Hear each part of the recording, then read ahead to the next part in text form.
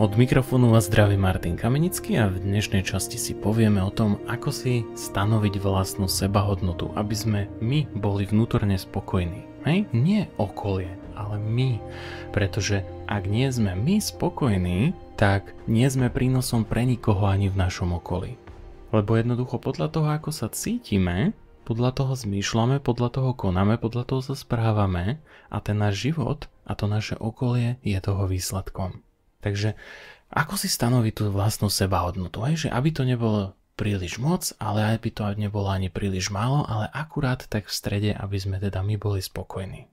Na to, ako si stanoviť, povedzme, keď vytvárame nejaký produkt, niečo, môže to byť, povedzme, ako ja robím kurzy alebo meditácie, ale môže to byť aj niečo fyzické, aj keď vyrábame. Hej, môže to byť zákusky, môžu to byť cerusky, môžu to byť auta, čokoľvek jednoducho, čo vyrábame tak človek, ktorý napríklad nezačal v živote niečo vyrábať, niečo ponúkať tej spoločnosti, hej, to, čo ľudia potrebujú, tak si nedokáže často predstaviť, že koľko práce za niečím je. Jak neskutočne veľa času, námahy, štúdia, všetkého možného, koľko to zabere. Hej? Takže často ľudia, ktorí nemajú túto skúsenosť, tak oni vychádzajú z toho, že povedzme tým, že si nevážia sami seba a sú povedzme ochotní robiť za naozaj minimálnu mzdu, lebo sami, sami seba vnímajú, že sú neschopní, že vlastne niečo nevedia, že sa im ukazuje ten ich vlastný stav vnímania samých seba tom okolí. Hej? Lebo sme tak boli naučení od, od detstva jednoducho, keď nás stále napríklad toto je klasický problém spoločnosti, keď rodičia vychovajú deti a všetko spravia za tie deti. Hej, alebo všetko mu zoberú, že toto mi ukáže, ty si neschopný, ty to nevieš, ja to urobím za teba. Ja to dieťa, ak sa mu to nahrá do tej neurónovej štruktúry, do toho mozgu, tak jednoducho to dieťa začne vnímať samo seba, že je neschopné. A toto potom sa pokračuje v tom živote, nabaluje sa to cez tú školu a tak ďalej. A títo ľudia potom majú práve ten pocit, že sú neschopní. A väčšina z nich končí práve povedzme v štátnej správe, na úradoch. Bohužiaľ, hej, lebo potrebujú to, tú, tú istotu, ktorú im nedali tí rodičia, hej, že niečo, hej, že teraz aspoň tú istotu toho miesta a nevedia realizovať sami seba niečo v tom živote. Ja teraz nechcem nikoho uraziť ani povedať, že všetci, hej, povedzme v takej štátnej správe sú len takíto ľudia. Samozrejme, že nie. Sú tam aj úžasní ľudia.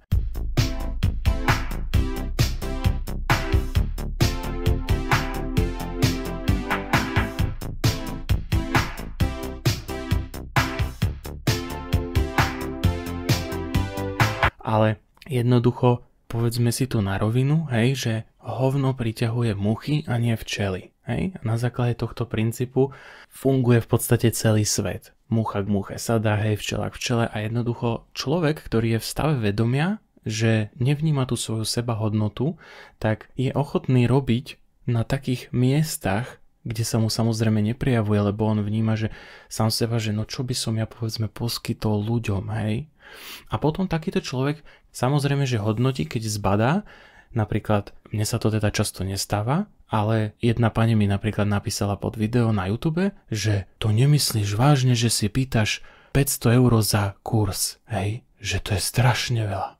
A teraz, toto je presne ten príklad, že pani netuší, že ten kurz, ktorý ja robím, si vyžadoval najprv vyše 10 rokov štúdia všetkého možného od neurológie, fyziológie tela, ako funguje, cez kvantovú fyziku, prepojenie všetkého dokopy. Cestoval som po svete, išiel som do Peru, skúmal som rôzne zmenené stavy vedomia, to práve čo chýba v tej modernej medicíne, hej, to, že ako nám kvantová fyzika ukazuje, že to, čo my vnímame, tú realitu, ten svet, to ovláda vedomie, hej. Kvantová fyzika vyslovene ukazuje, že fyzický svet, tá hmota neexistuje bez vedomia, že je to projekciou vedomia. Hej, je to to isté, ako keď vnímame film v kine, tak je projektovaný z projektoru a projektor nasáva informácie z hardisku. Ak by tam neboli tie informácie v tom hardisku alebo ten projektor, tak nevnímame nič. A takto isto je projektovaná tá realita. Hej? Tým projektorom je naše telo a tým hardiskom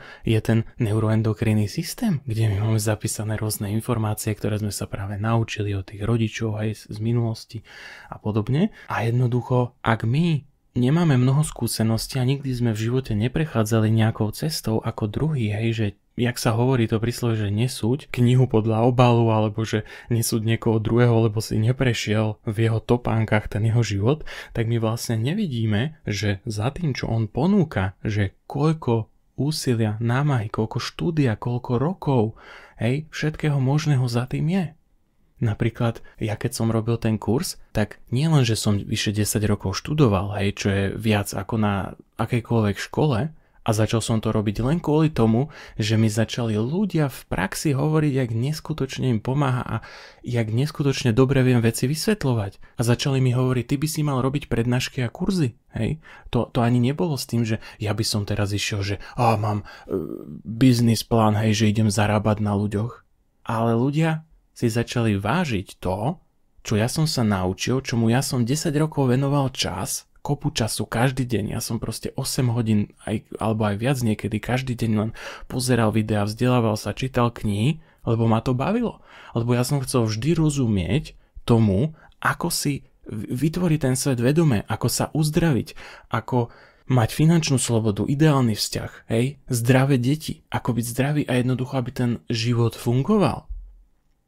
A to sú bohužiaľ veci, ktoré sa v škole nenaučíme, preto som aj ja z vysokej školy odišiel, hej, lebo som pochopil veľmi rýchlo, že tam ma to naozaj nič praktické do života nenaučia.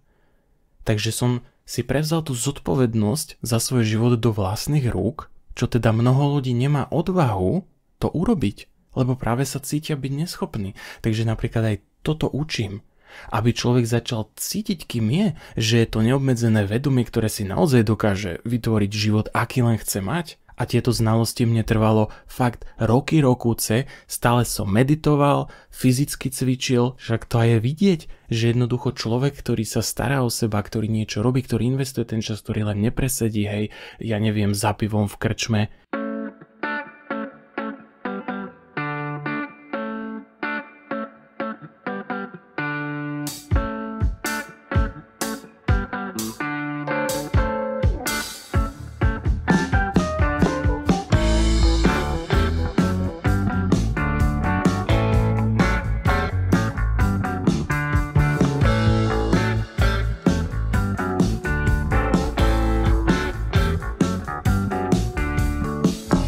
tak jednoducho sa naučí, zveľaďuje svoju osobnosť a vie potom niečo priniesť hej, tým ľuďom.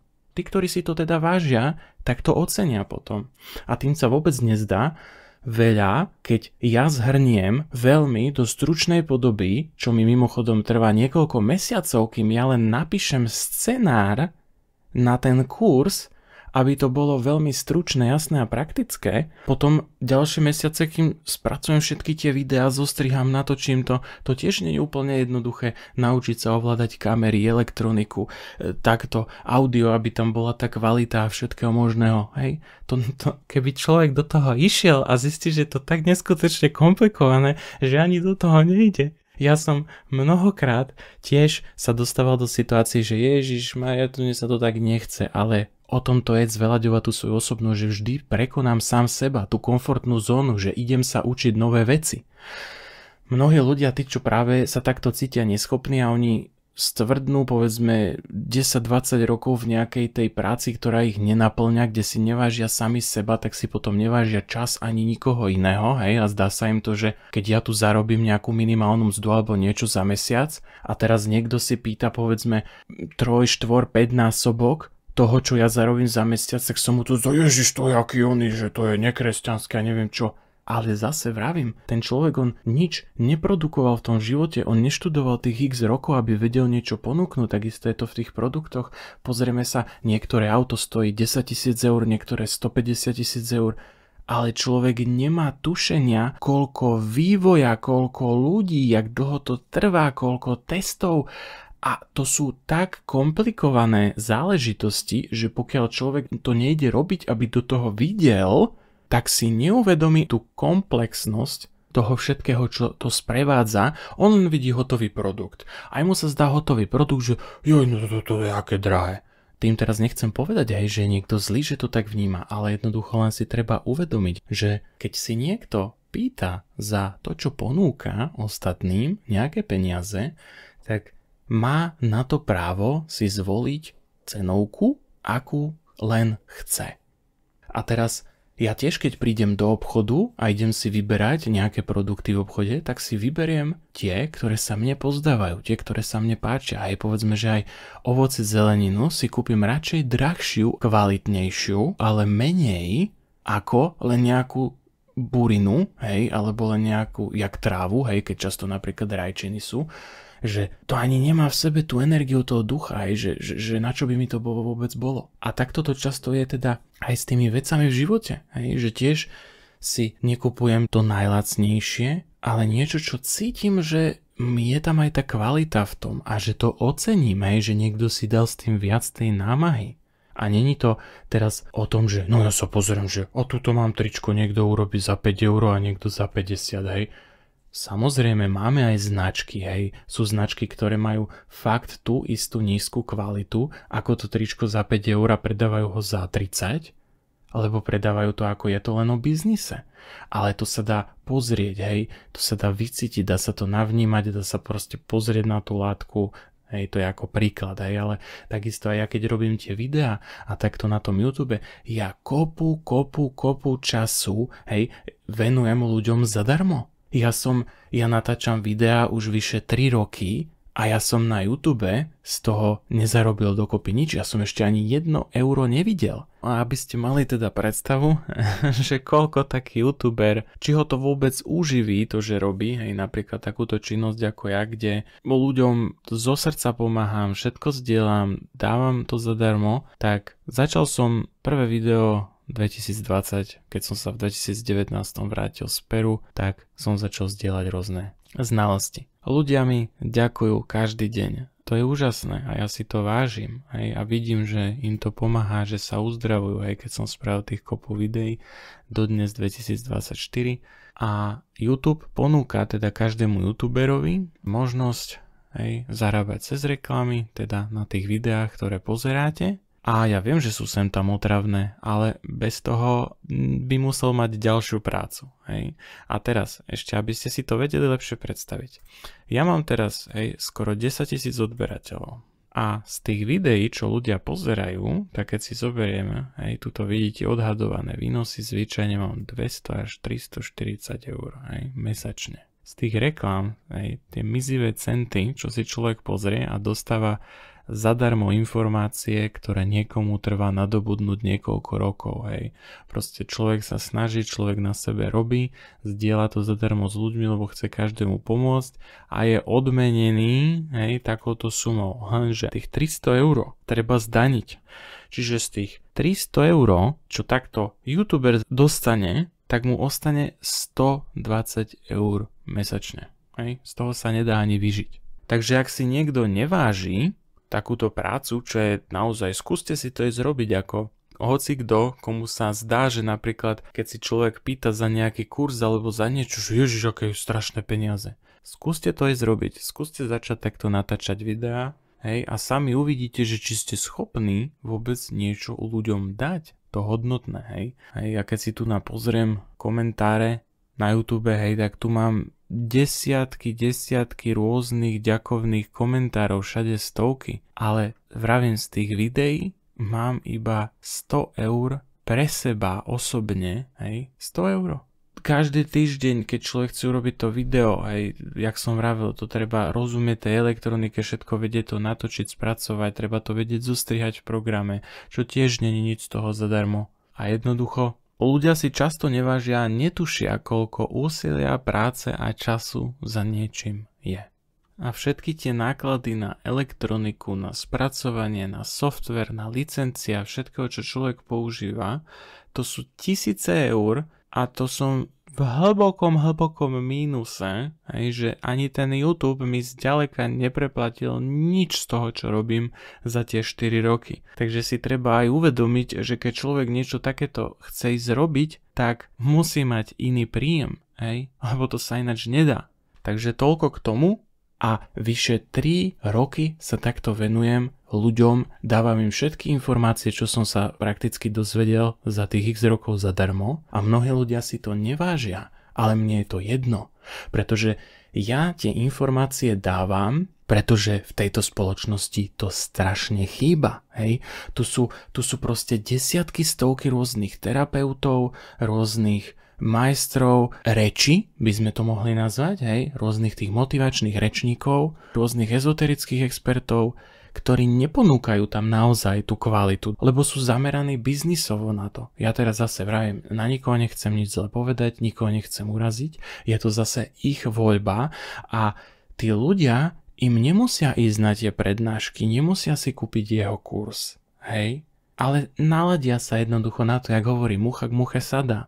Takže ak je niekto jednoducho takto naladený, tak si pritiahne vždy tých ľudí, ktorí sú podobne naladení a oni si myslia, že keď mu zaplatia horibilné sumy, tak im to pomôže viac, ako keď napríklad nájdu Martina na YouTube, ktorý to ponúka zadarmo. Hej? Ja vám garantujem, mne sa to už aj potvrdilo, sú tu aj u nás experti, ktorí si povedzme pýtajú 30 tisíc eur, hej, čo niekomu sa môže zdať strašne veľa, za rok ako za mentoring.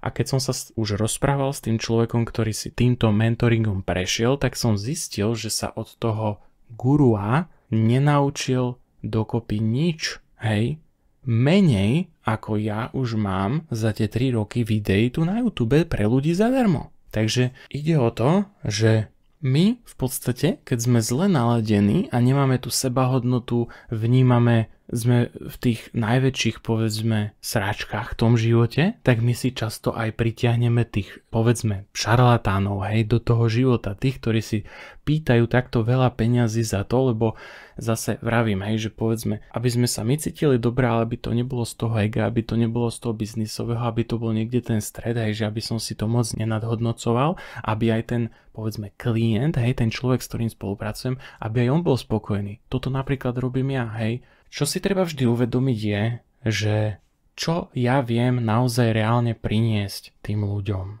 Hej? A spraviť si nejaký povedzme aj prehľad medzi tým, že čo ja ponúkam a že aká je tá kvázi ako konkurencia. Hej? Napríklad ja som si všetky ceny stanovil tak, aby to zodpovedalo aspoň čiastočne tej kvalite, ktorú ponúkam, čo teda Môžem z istotou povedať, že všetci oceňujú, lebo na základe recenzií, ktoré získavam na všetky meditácie, aj na ten kurz, aj tu na, na videá na YouTube, tak v podstate to robím ako keby podcenovo, hej? Lebo kopu času to zaberá, kopu štúdia, hej, ovládať všetku, nielen tú elektroniku, ale aj ten software, tie programy. Človek musí vedieť angličtinu, hej, ďalší jazyk. Jednoducho je to veľmi komplexné ovládať web, web hosting, vedieť robiť internetové stránky, alebo teda mať viacero ľudí, ktorí to vedia robiť, hej, že vždy sú za to buď veľmi veľa, teda s tým človek sám roboty, lebo ja napríklad robím všetko zo srdca takým spôsobom, že chcem, aby v tom bola tá čistota. Takže ja napríklad mnoho ľudí ani nedám robiť niekomu inému, lebo by som vedel, že on to bude robiť len kvôli peniazom, tak s takým človekom ja nechcem spolupracovať. Aj preto mne napríklad veľmi dlho trvá, kým ten kurz a všetko spravím, ale zase to bude nastálo a dá to ľuďom to, čo im chcem odovzdať to, aby naozaj zistili, kým sú. Že nie sú obmedzeným, limitovaným človekom, ktorý sa len tu na, je v tej ilúzii toho, že vníma ten časopriestor, pretože to telo mu vytvára ilúziu časopriestoru. Ale že naozaj je tým nekonečným vedomím a keď začne rozumieť tomu z toho neurofyziologického hľadiska, ako to telo funguje, ako projektuje mu tú realitu, tak keď rozumiem tomu telu, no tak viem, spraviť isté fyziologické zmeny v tom tele, aby mi začalo tú realitu vykreslovať menej skreslene